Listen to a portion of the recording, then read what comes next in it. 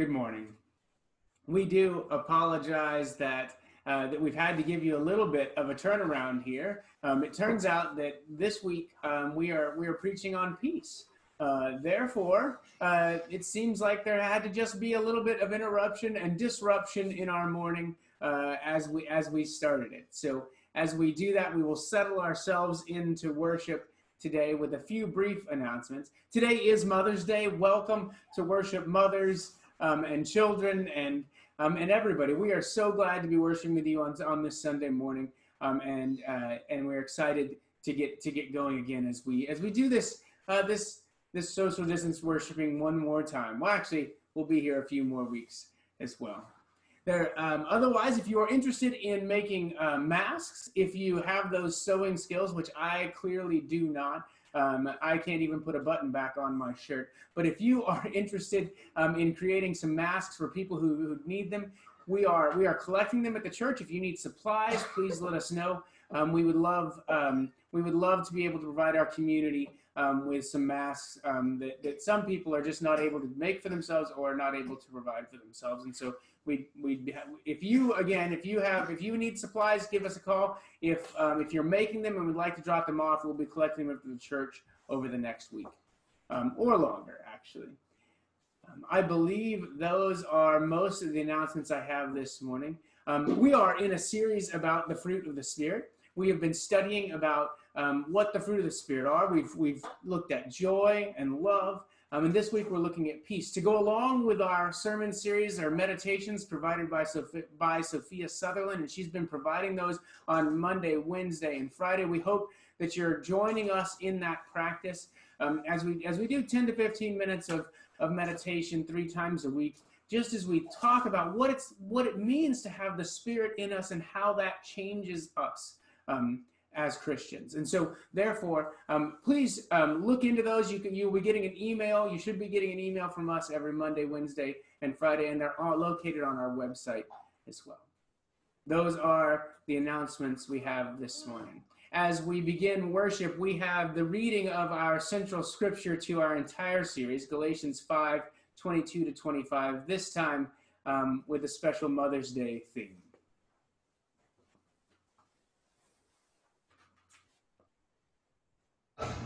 But the fruit of the Spirit love, joy, happiness, peace, forbearance, kindness, goodness, faithfulness, gentleness, and self control. Against such things there is no law. Those who belong to Christ Jesus have crucified self with its passions and desires. We live by the Spirit. Let us also be guided by the Spirit. Happy Mother's Day! Happy Mother's Day!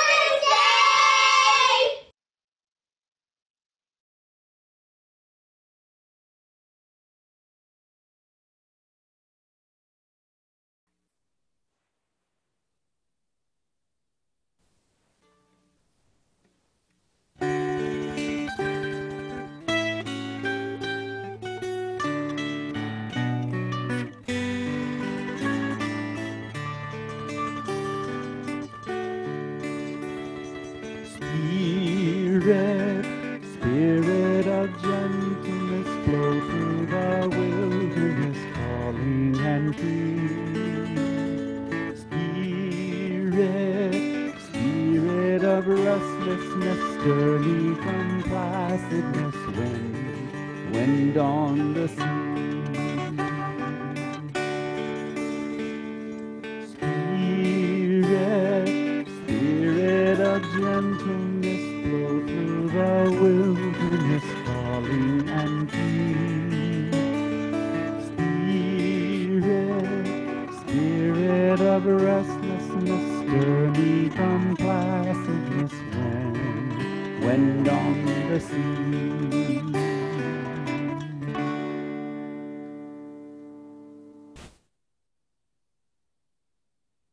join us in our opening prayer this morning. It will be on your screen in just a minute. We invite you we invite you to pray the words that are in bold. There we are. Let us pray together. Come, Holy Spirit, fill us, live in us, move through us, bear your good fruit in our lives, that we may live God's way. Where we are guided by prejudice, Fill us with love. where we are guided by pessimism, Fill us oh, with oh, I see joy. where we are guided by worry, Fill us with peace. where we are guided by hurriedness, Fill us with patience. where we are guided by anger, Fill us with kindness. Where we are guided by revenge, Fill us with goodness. where we are guided by desire, Fill us with faithfulness. where we are guided by volatility, Fill us with gentleness. where we are guided by hunger. Fill us with self control. Come, Holy Spirit. Fill us. Live in us. Move through us. Amen. Amen. We invite you to join us in singing uh, a new song for most of us. It's called Oceans. Um, I, it's a beautiful song. We hope um, that you'll enjoy singing along with us.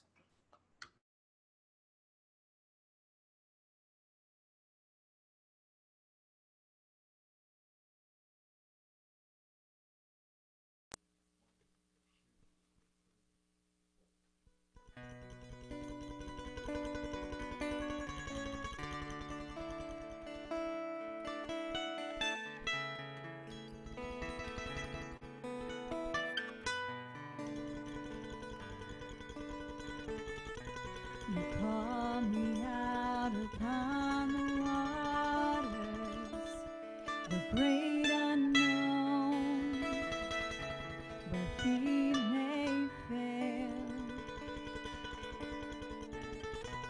and there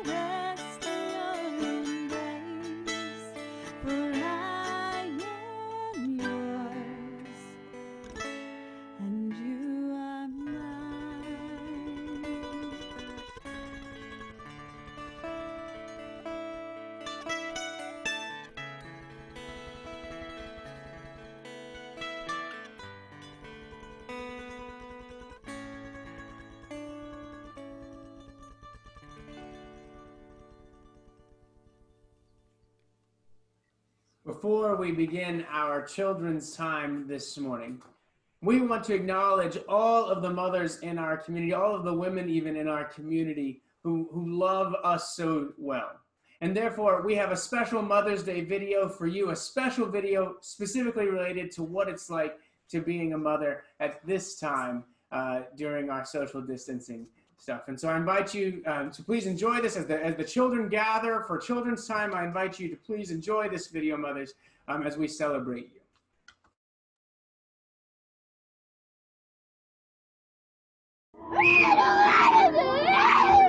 Mother's Day looks a lot different this year.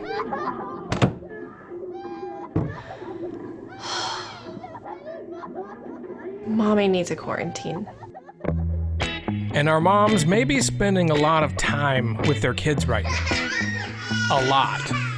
Like, so, so much time.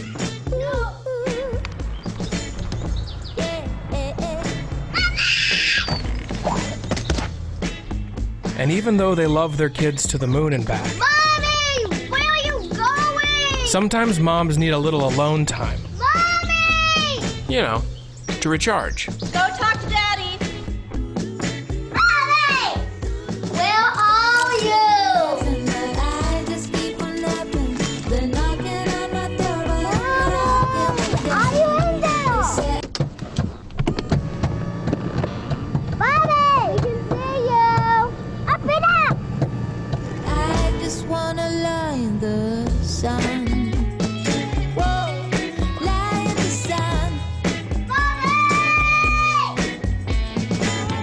no matter what's happening in the world, their favorite way to spend time is with their family.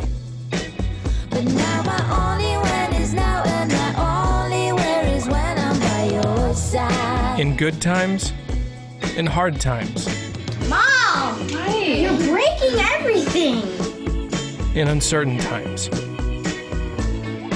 Thank you, Mom, for making time for us every single day. Dear Heavenly Father, I thank you for today. I ask that you would watch over us as we go to bed and rest, that you'd speak to us in Bible stories and speak to us in our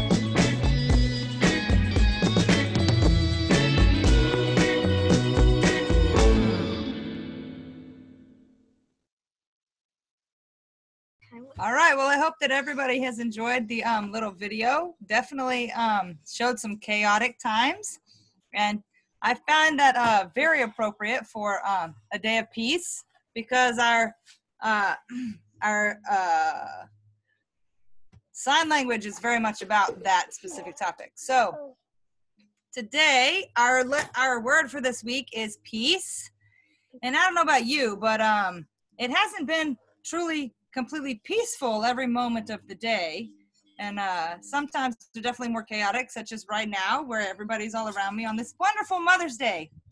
Um, but when when we have things not going our way for example this is not exactly how we anticipated uh, service going today. And um, sometimes that makes our hearts go ah! And it's kind of chaotic inside us and sometimes it's chaotic in the world. And so peace is is when all of that chaos becomes kind of calm. And so in in relation to that, we can have peace in the midst of the chaos. So there's a there's a story in the Bible where there's a storm going on and it's called chaotic and Jesus is sleeping. And he and the disciples are not okay with that because they are having a lot of trouble in the chaotic storm. And Jesus gets up, wake, they wake him up. They're like, Why are you sleeping? And Jesus comes up and goes, ah, Peace. And the waves and the wind stop, and there's peace. And so that is what we can experience with Jesus. We can have his exact same peace, even in the midst of our chaos and our storms.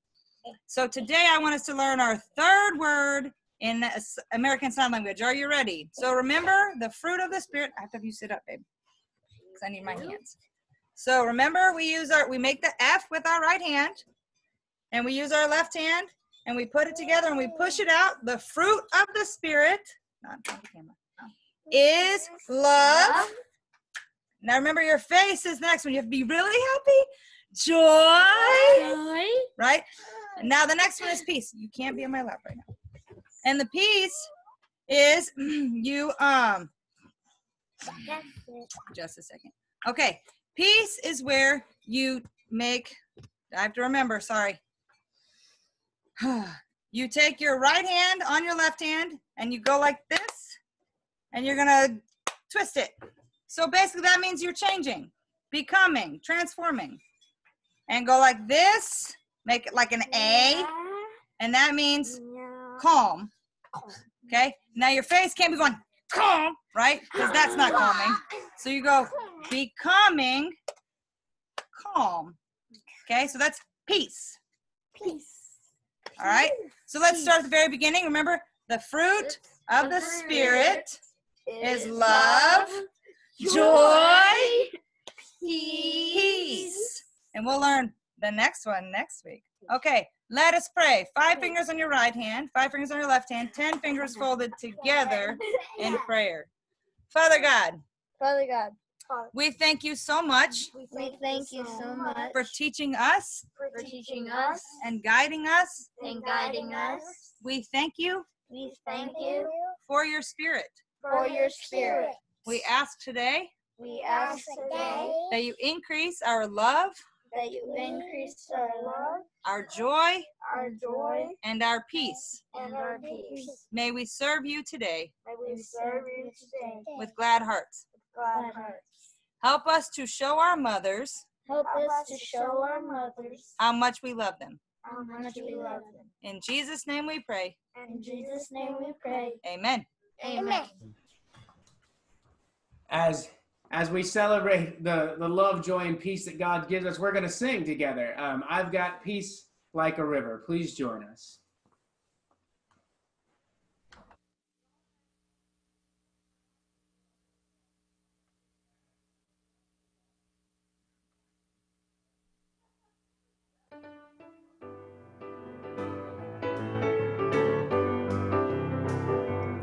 I've got peace like a river. I've got peace like a river. I've got peace like a river in my soul. I've got peace like a river. I've got peace like a river. And I've got peace like a river in my soul. And I've got joy like a fountain. I've got joy got joy like a fountain in my soul. I've got joy like a fountain. I've got joy like a fountain. I've got joy like a fountain in my soul.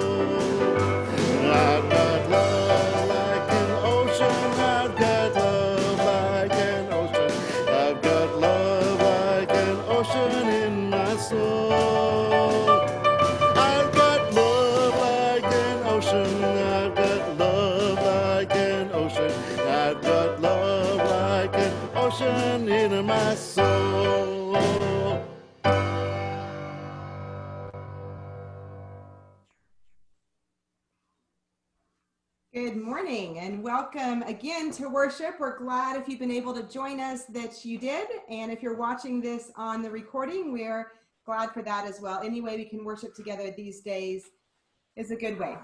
And I don't know about y'all, but for me, it's going to be helpful if we pray together as we begin the message this morning. So let's pray. God of holy presence, breathe in us that we might know your peace that passes our understanding, that extends beyond our expectations and fills us with the knowledge and the joy of the depth of your love. In Jesus Christ we live. Amen. Now, I imagine that our key fruit of the Spirit passage is becoming for you somewhat familiar. Hopefully, we're in week three now, and that passage comes from Galatians chapter 5, verses 22 through 25. But the fruit of the Spirit is love, joy, peace, patience, kindness, goodness, faithfulness, gentleness, and self control. Against such things there is no law.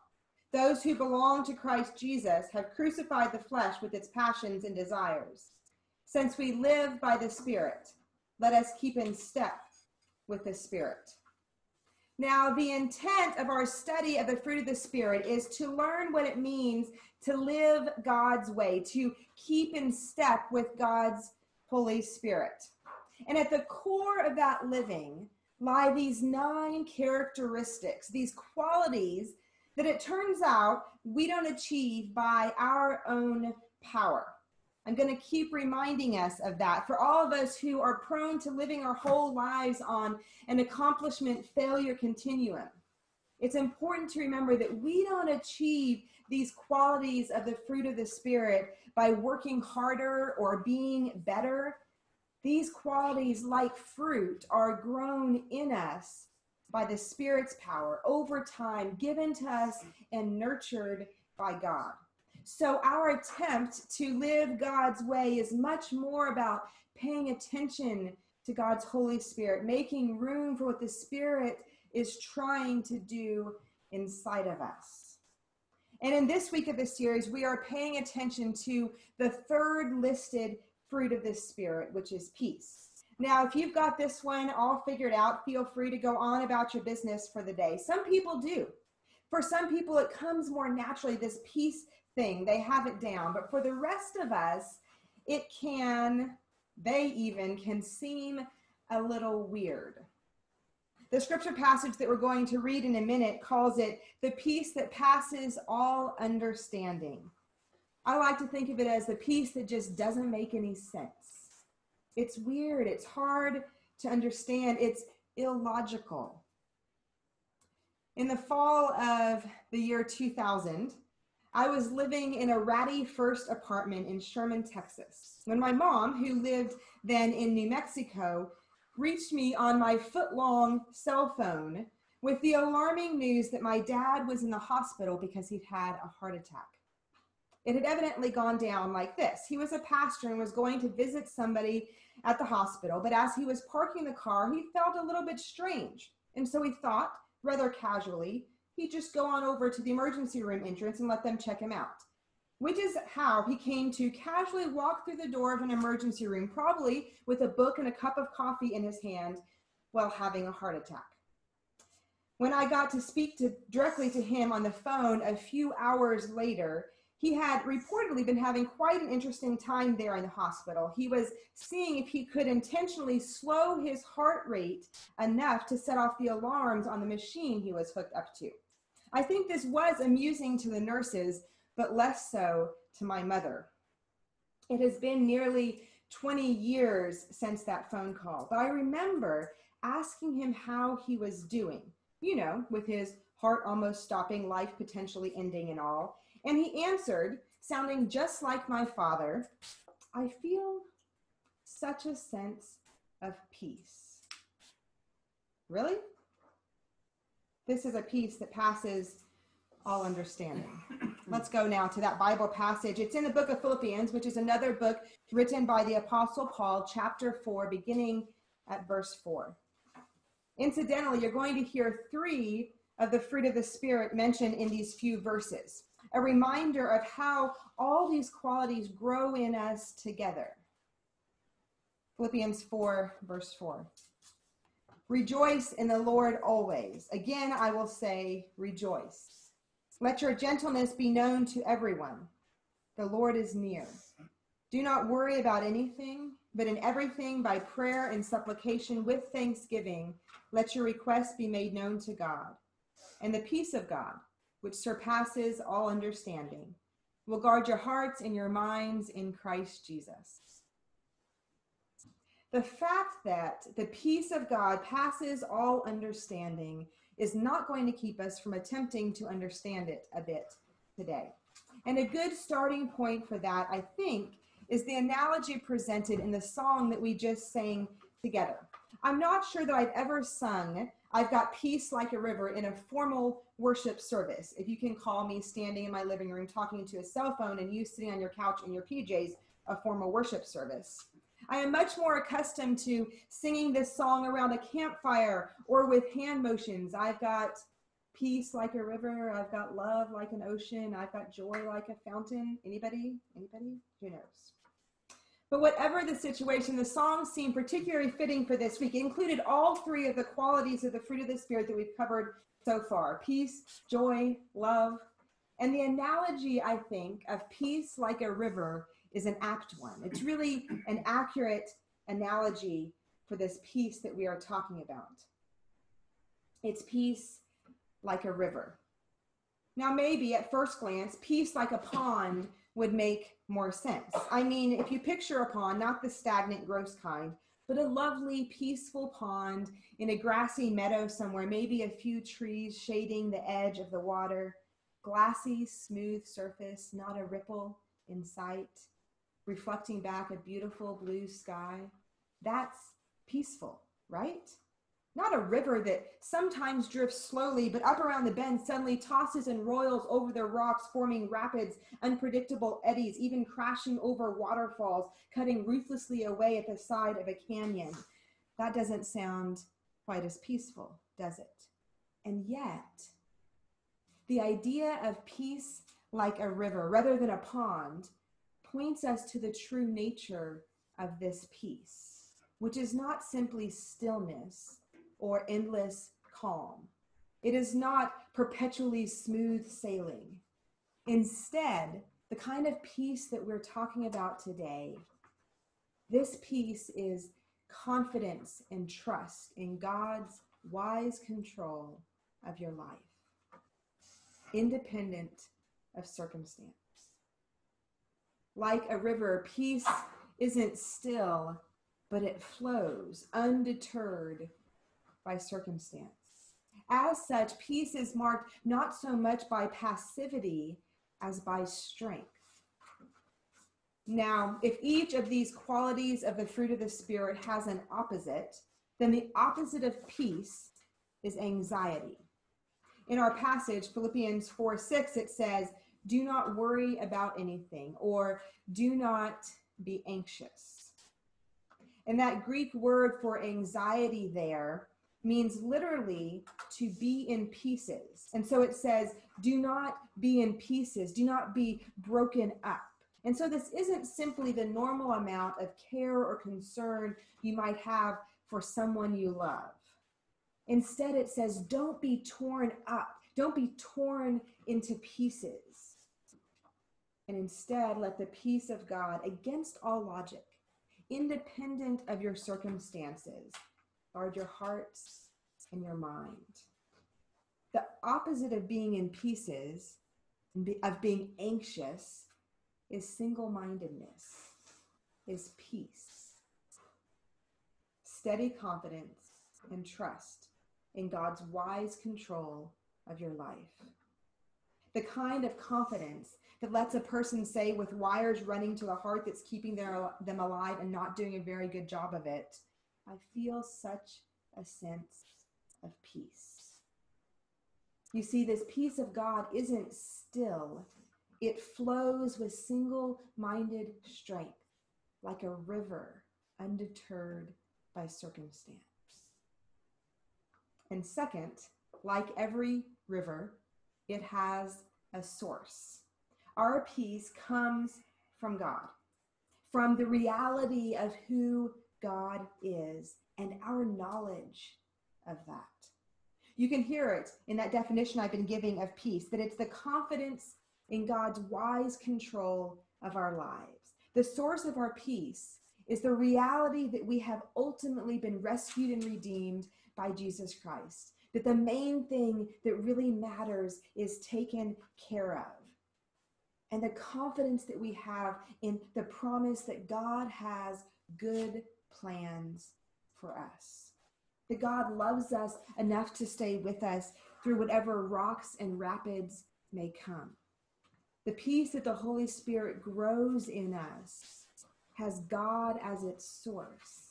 God whose goodness and grace and power are worthy of our confidence. And so, what keeps us from anxiety, from falling to pieces, is returning to and surrendering to that source. And that begins to get us to practically how we might cultivate this peace in our lives. How to do that is embedded in the Philippians chapter 4 passage. Rejoice in the Lord, Paul says. And that's an exhortation to pay attention to the source, to remember the goodness and grace and power of God, to exult in it. Rejoice in the Lord. Paul puts it a little bit differently a few verses later, but it's the same idea in verse 8. He says, Whatever is true, whatever is honorable, whatever is just, whatever is pure, whatever is pleasing, whatever is commendable, if there is any excellence, and if there is anything worthy of praise, think about these things. Now, when Paul writes that, he doesn't actually just mean whatever comes to mind.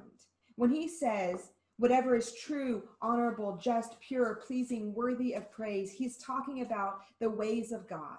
Because to Paul, what is just and true and worthy of praise is our God. And so he says, think about those things. When your mind is edging toward worry, to the kind of anxiety that breaks you into pieces and makes you fall apart, instead, fill it up with truth, with what is pure and pleasing. Rejoice in the Lord. Remind yourself of who God is and how much He loves you. The practice of meditation that Sophia has been leading us through for the last couple of weeks is one of this of one is one of the ways that we can do that. One of the ways that we can fill our minds with what is true and worthy of praise. It is a seemingly simple but powerful act of pausing, of paying attention to our hearts and our minds, and listening carefully to Scripture, hearing again what is true about God and God's goodness toward us. That is a way of rejoicing in the Lord.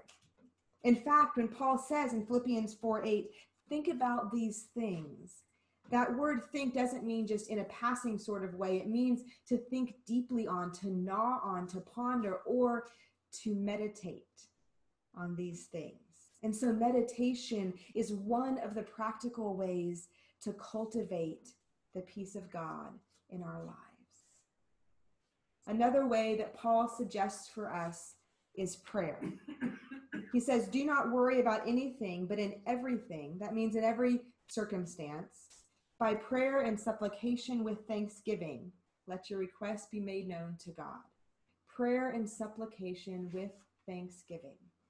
Supplication is asking God for something, to supply something. That's what kind of prayer this is. And notice that Paul says to accompany that asking with thanksgiving, which is a little bit counterintuitive. Usually we would ask for something, and then when we received it or saw the result of our request, then we would give thanks. And instead, what Paul writes is that we're to ask God and thank God in the very same breath. And the reason for that is that when we ask and thank without ever knowing when or how God answers our requests, we are bearing witness to the first step of rejoicing in the Lord. Because when we give thanks without ever seeing God's response, we are saying we know the God who is good to us, who will respond for our good and, our, and his glory, even before we see the result of our request. And so we rejoice in the Lord, remembering and recalling his goodness and grace and providence. And then we pray with simultaneous request and thanksgiving, knowing that God's answer will be good. This practice of combined trust and gratitude brings peace. Paul writes, Rejoice in the Lord. Don't let anxiety rule you. Instead, pray with thanksgiving. And the peace of God which surpasses all understanding, will guard your hearts and minds in Christ Jesus. It's not meant to be a magic formula, but it is a promise. these patterns cultivate peace in our lives. Peace that shapes the world around us, like a river cuts new paths or deepens its banks, or carves canyons out to shape the landscape around it. As we consider the fruit of the Spirit in our own individual lives, we should always be keeping an eye on the orchard. And by that I mean that while the Holy Spirit grows these qualities in our individual lives, the context of those, Gal- those verses in Galatians 5 is also, perhaps even primarily, a corporate context. The Spirit bears this fruit in us together in the context of community. And so when we talk about peace, we aren't just talking about our own inner peace, but also about the way that peace flows from within us into the world around us. We become a people of peace. When Paul spells out the fruit of the Spirit, just before that, you remember, he also spells out the fruit of the flesh, the fruit of our sinful nature. And that includes enmity, strife, jealousy, anger, quarrels, dissensions, and factions. You see, if we live according to our sinful nature, which is the alternative to living according to the Spirit, if we live according to our sinful nature, our life together will be marked by division, by enmity, by warring factions. But in contrast to that, when we live according to the Spirit, when the Spirit of God rules our life together, our life together is marked by peace. Walls come down, relationships are healed, differences still exist, but they do not decide the day. Impossibly and improbably, we love our enemies and live at peace with one another. Like a river that shapes and reshapes the land around it as it flows, the peace of God growing in us has the potential to shape the world around us. You see, we, both individually and together, become instruments of peace in a world that desperately, desperately needs the peace of God. Friends, I invite you to pray with me today. As we close this message, I'll be praying the prayer of St. Francis. You may have already heard echoes of it. Lord, make me an instrument of your peace. Let us pray together. Lord, make me an instrument of your peace. Where there is hatred, let me sow love, injury, pardon, doubt, faith, despair, hope. Where there is darkness, let me sow light. Where there is sadness, let me sow joy. O divine Master, grant that I may not so much seek to be consoled as to console, to be understood as to understand, to be loved as to love. For it is in giving that we receive, it is in pardoning that we are pardoned, and it is in dying that we are born to eternal life. Lord, we ask that you send your spirit in us, who alone has the power to transform us by your peace made alive in our lives, and through us, your peace made alive in the world. May the peace that passes all understanding so grow in us that we might shape the world around us with your peace. We are bold to pray these things as Jesus taught us. Our Father, who art in heaven, hallowed be thy name. Thy kingdom come, thy will be done, on earth as it is in heaven. Give us this day our daily bread, and forgive us our debts as we forgive our debtors. And lead us not into temptation, but deliver us from evil. For thine is the kingdom, and the power, and the glory forever. Amen. I invite you to join us as we close our worship today. We'll be singing a song called Canto de Esperanza or Song of Hope. Um, the words will be on the screen in both English and Spanish. You are welcome to sing um, in whichever version you want. We'll sing it twice through. Um, I will warn you, it's a quick song, so if your Spanish isn't real quick, then good luck. Let's sing together.